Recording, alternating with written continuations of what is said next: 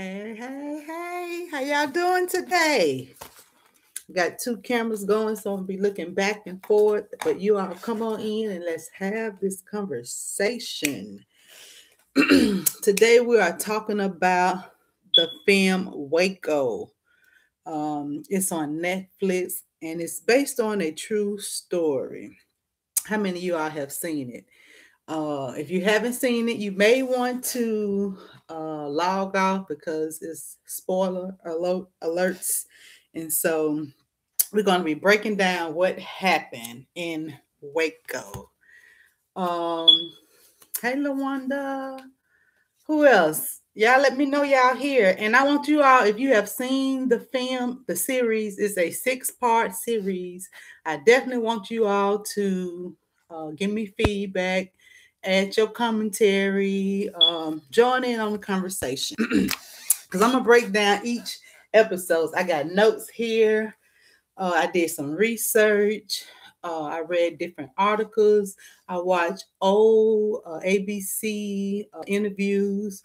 Uh, so thank you, girl. Just I'm not feeling my best. I went and just threw some on so I won't be looking so dead on here. Okay.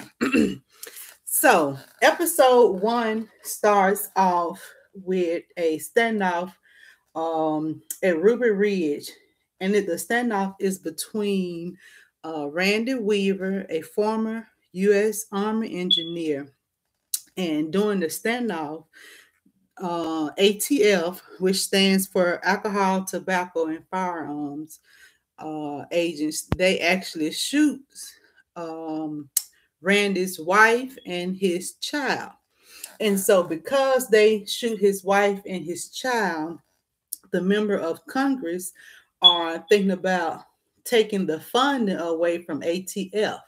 And so, um, ATF is trying to prove themselves. And so, this guy goes and visit I guess, the head of ATF and tells them that they have a lead uh, about some firearms being built um, at um, where David Koresh and his compound compound is in Waco, Texas.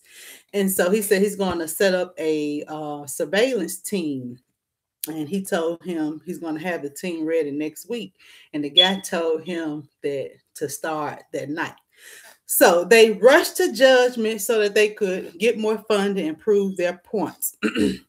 hey, make sure you all tune in, comment. Hey, Dennis. Hey, brother Samuel. Hey, Avis girl. Um,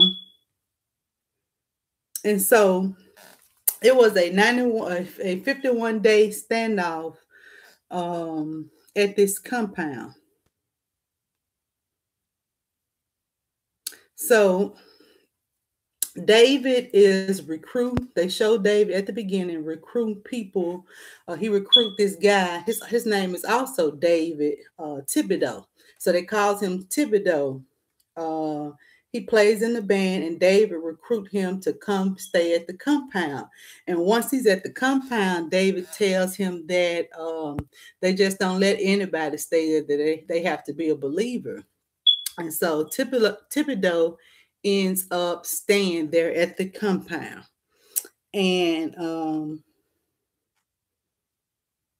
David, one thing that is strange about this show, well, strange about what happened is uh, David calls himself um, taking on the burden of sex for in, everybody at the compound. Like you don't, even if you're married, they all sleep with David. The wives of other uh, men only can sleep with David. They have a floor where men is on one floor and the women and children on another floor. No men except for David is allowed on the women's floor. And so episode one ends with the baby being born by one of David's friends. I think his name is Steve. And Steve is uh, conflicted about, you know, his wife having a date a baby by David, and he's thinking about leaving, but he doesn't leave. So episode two starts off with um, David seeing new neighbors across from the compound. And so they go and visit the new neighbors, and David asks him a question about being a rancher because the guy claimed that they are a rancher, but he find out that they not new neighbors. They actually uh, undercover ATF or FBI agents. Um, this this series they did a pretty good job uh, telling the truth with this series. Like I said, I did some research. I watched actual footage, and it lines up with what they presented during this series. Uh, and this series was based on two books uh, Waco, a survivor story by David Thibodeau. He was one of nine of the survivors. And the other book that the FBI negotiator wrote was Stalling for Time My Life as a FBI Hostage Negotiator by Gary Nischner. I can't pronounce his last name. Okay, so in episode two, David invites the guy, the ATF agent, who's his neighbor, to come to the compound. And so David's up preaching about the seven seals in the book of Revelation. And he said that they are going to be the fourth seals have already happened and that they're going to open the fifth seal. And in the middle of his sermon, David said that somebody has broken a rule and they must be punished. And then he tells everybody to follow him. He had this stick in his hand like he's about to beat somebody. And he goes in the freezer, and in the freezer, all these guns are stockpiled there in the freezer. And so he comes out the freezer with some ice cream. And he was like, Who did? Who ate the ice cream? And this little boy comes forward and said, I ate the ice cream. And he said, You must be punished. And he said, Your sins is all of our sins. And so he gave everybody ice cream. And I think that first thing that touches the ATF agent that's present watching all of this. because for the longest they have they portrayed David being this mean uh, cult leader, and we don't get that at all from this film. Um, David is talking to the ATF agent. The ATF agent is open up to David about his mother and having problems with his mother. And David, when David asked him, What's the shortest verse in the Bible? I answered that Jesus wept. And um, like I said, they began to build a bond. Um, and the people there at the compound was telling David not to trust this guy, and David believed that God sent this guy to him to um, for him to save. And he was the people was like, why take this risk with this guy? And um because David responded, because I can turn him. Okay, and so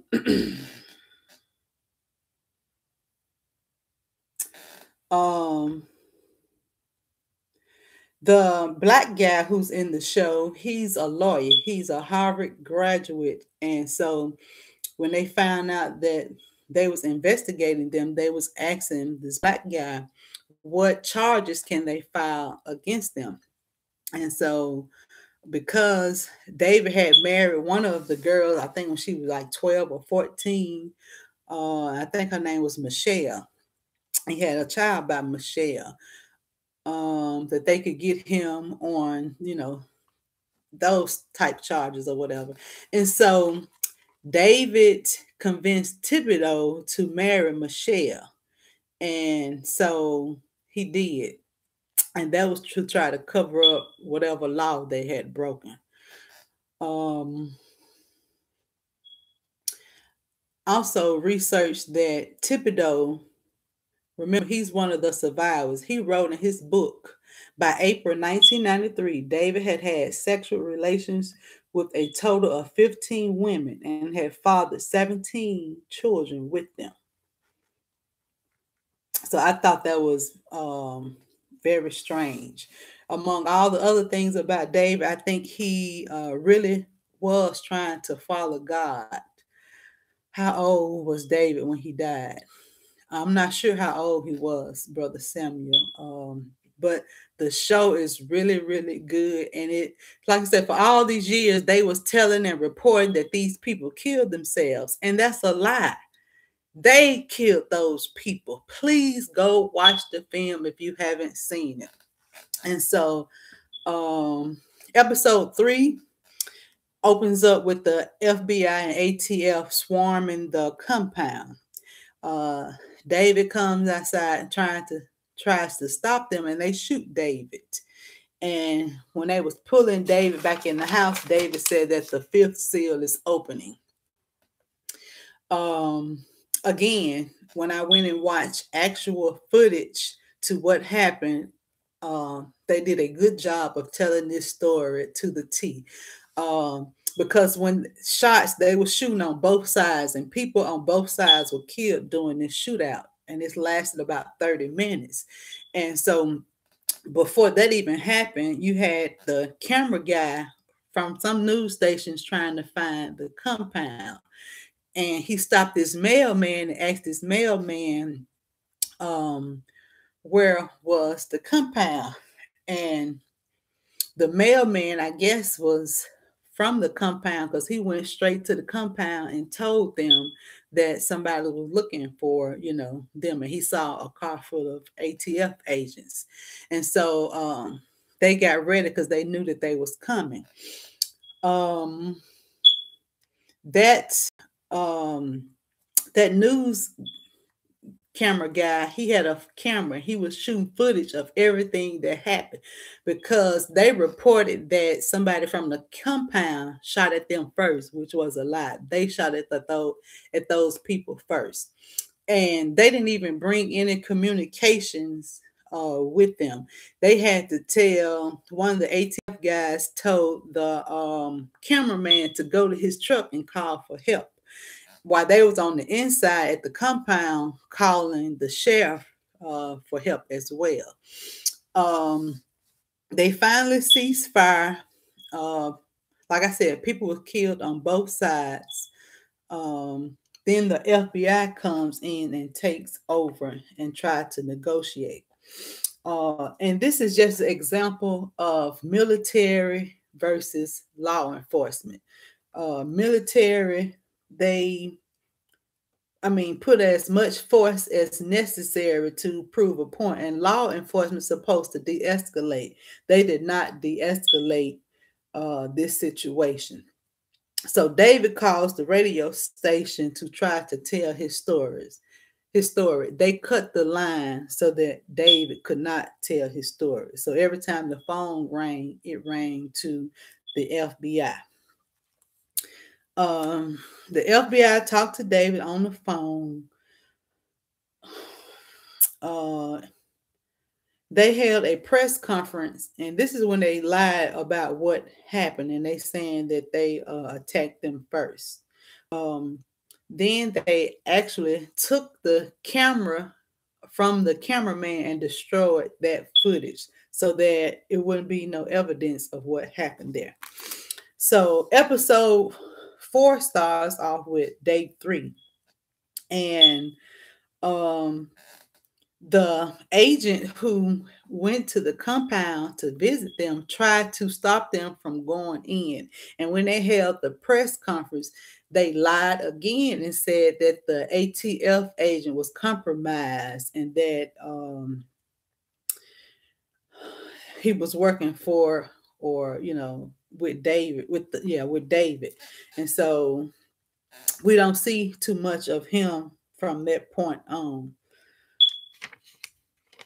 And so while while David was on the phone with um, the FBI agent, he asked him for some milk for the kids. He said that because of the stress stress from what was going on, that the women wasn't making milk, they wasn't lactating, and so they brought them some milk in. Um,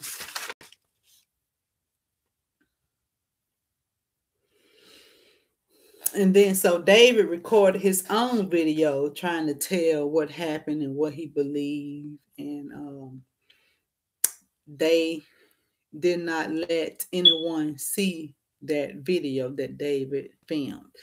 Uh, episode five was which was day nine. Remember, this standoff lasted for 51 days. Um, they turned off the lights. When they turned off the, the lights, the milk that they gave them went bad. Um, and they finally turned the lights back on. And so they um they showed a video of the kids who they David had let some of the kids go. Um, and they showed a video of some of the kids, and one of the ladies who uh, was a parent was still um, inside. And when she saw her child by himself, she asked where his sisters and brothers, where his brothers were. And the father of the two brothers came and picked the other kids up and left the one boy. And so she wanted to, you know, leave so she can go be with her child.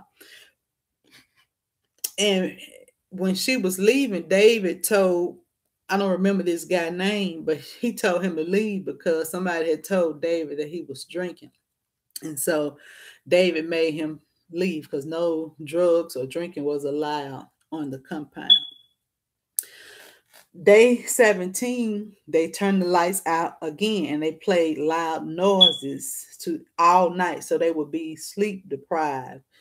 And um during this time while the lights was off, they was trying to get the generator to work. And they finally got the generator to work. And the guy told David that it was it will only probably last about 10 minutes. And so um so David decides to hold a concert and he sung in front of the window, which I thought was very interesting. Um, during this time, when episode six began, they relieved the negotiator of his duties. They was getting impatient. And so, and this is when everything went wrong. Um, they sent tear gas into the compound. And then they also made false statements to the media that um, they were under fire. Like I say, lying, what they always do to protect themselves. Um, so once the tear gas uh, started coming in, they put all the women and children in the vault. And they was on the outside saying, why aren't they coming out? Because they had barricaded them in with these tanks. They had the tanks that was um, had knocked some of the sheetrock and walls down where they couldn't get out of the vault.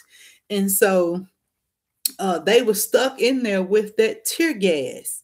Um, and when I, like I say, my sister and I discussed this film on yesterday. We actually did a video talking about it, and she has sent messages to us and told us to watch it the day before.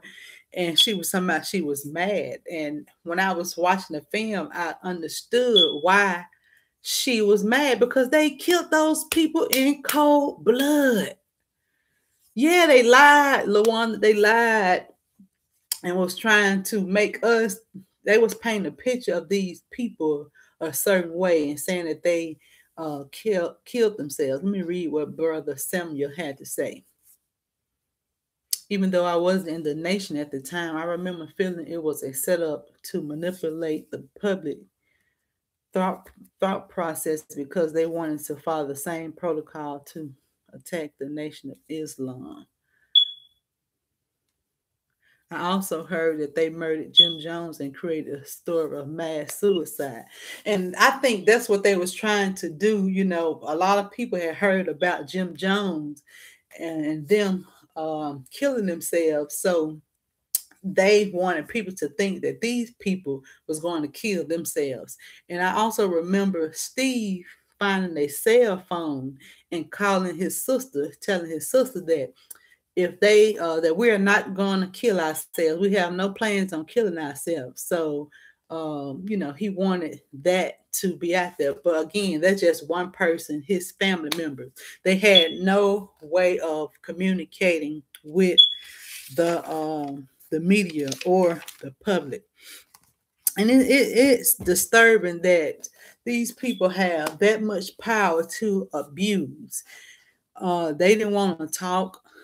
They had pressure on them from the people from Washington telling them they want to end. And that's when they went in there and used excessive force on those people. And it's just sad.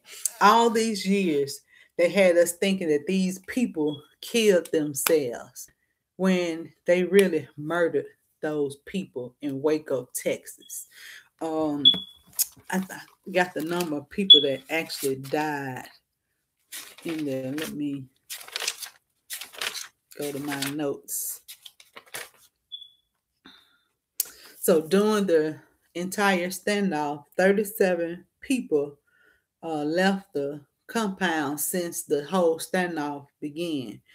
Uh, 95, 95 people was inside when this attack began. Uh, I think it was 78 people. Um, I can't find it in my notes. 78 people died during this attack, and 25 of them were children. So, what do you all think about this? Like, think about all the things that the government gets away with and is never held accountable. Who's going to hold the government accountable? Like, I feel some type of way after watching this. The, the other show I want you all to watch and I, so we can discuss is the platform. My sister every every other day she texts us these movies she want us to watch and we discuss them. And so she and I also discussed the platform yesterday. So I'll do another video talking about the platform. It's on Netflix. Netflix. Definitely go and watch the platform so we can discuss that uh, next time. Do y'all have any questions or comments? Uh, make sure you all are staying safe out there. Make sure you wash your hands, stay at home.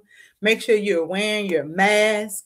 Um, what are you doing to boost your immune system? You need to make sure you're exercising. Uh, I'm drinking Tahitian noni juice, a couple ounces a day to boost my immune system. Uh, I suggest you um, do some type of regimen to boost your immune system, especially during this pandemic. Um, any other questions or comments, you guys? I thank you all so much for tuning in. Again, this live feed is brought to you by iDressFabulous.com and mynonijuice.com. Thank you all for tuning in. See y'all next time. Bye bye.